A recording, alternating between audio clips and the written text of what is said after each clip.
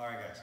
Um, so I'm gonna go through a couple options that can happen in the far side collar sleeve, uh, but there's just so many possible variations you can go with. I'm just giving you kind of an overview of it, okay? So again, you know, however we got there, we can start in a lasso spider, break past the body, leave the shin here, and then work to the collar and start getting to there from here. You can start in De La Riva, holding the ankle. I push the hip out, left foot and the bicep extend, and go in here. Again, I just want my shin on that inside space because it's so hard for him to get that back, right? And then I can build off of this. One cool thing you can do, if it's like, let's say I'm in lasso spider and his elbows tight, like that, like there, so there's no space to get in, exactly, right? I'll come across with this foot here sometimes and push to open it, break. Now I'm in the space, back here, and now I'm working, okay? So from here, sometimes what guys will do is when they don't know what's happening, they know, they just feel bad, because they feel there's an old omoplata coming and they have no idea what to do, because they're just stuck in this position. So guys will go like one knee up often, like go combat base kind of. Okay, from here, understand we don't have to be as tight on this collar, and there's a lot of different variations of this. Like he could be kind of back like he is now, uh, he could be driving his knee into my chest. Okay, he could be trying to like knee cut his knee to the floor. Right, I have like a big guy at my gym who does this all the time. Right, and there's a lot of different little variations of this that are subtle. But the main thing to understand is when I'm attacking the far side, it's a lot more controlled than the near side collar sleeve. It's almost like a lasso, how strong it is for controlling. Is he can't pass this way as long as I have this sleeve. You understand that? Like to get around my guard, he's got to push this leg down. But he can't push it down if I have this sleeve.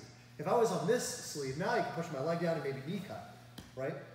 But when I'm here, it's hard. So sometimes when I'm like this, I have the collar, but sometimes I'll let go of it, right? I can push here, get this foot in the bicep. Right here, I could like wheel sweep to the right if I played spider guard. There's so many options from this situation, right? Uh, if he's uh, back would be up a little bit so there's space, yeah. Exactly. If he's more like this, sometimes I can switch up and go to like De La Riva X. You can turn this into a bolo if you're into that, right?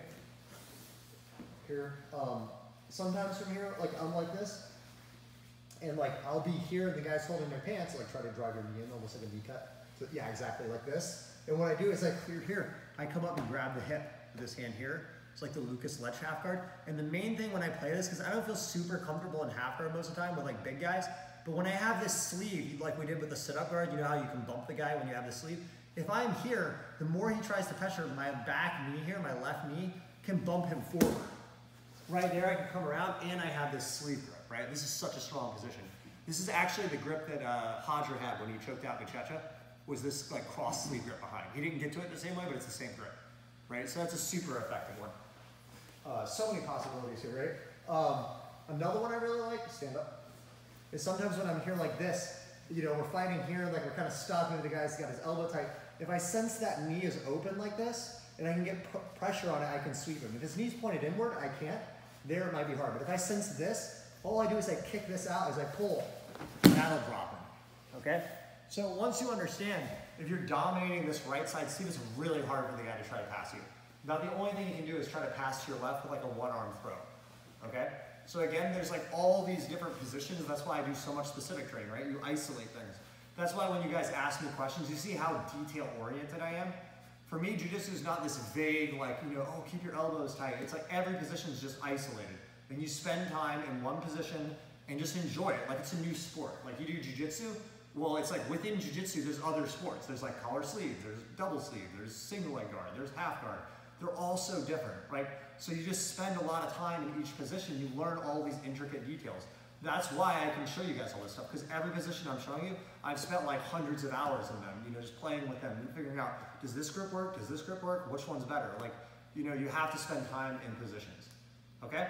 So um, to give you uh, something easy to work on here, let's do this one. So we're here in the far side collar sleeve. The guy maybe goes to one knee up. So he's here like this. So here, we're just gonna let go he's holding the pants and grab this double sleeve now. And now we're in a perfect wheel sweep to the right side like this. And now I can come up from here. Actually, I think Nicholas Meregali swept uh, Dillon Danis with that at like Copa Podio back like a year ago, year and a half ago. So you want to watch. Okay? All right, guys, let's give it a try. One, two, three.